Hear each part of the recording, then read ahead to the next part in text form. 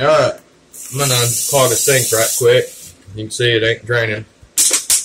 We're gonna use an empty water bottle. I took my little uh, deal out.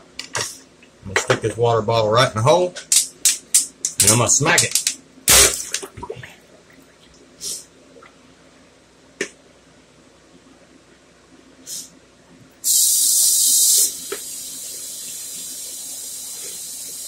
There will be some water shooting, so if you got any food around there, obviously, make sure it's cleaned up.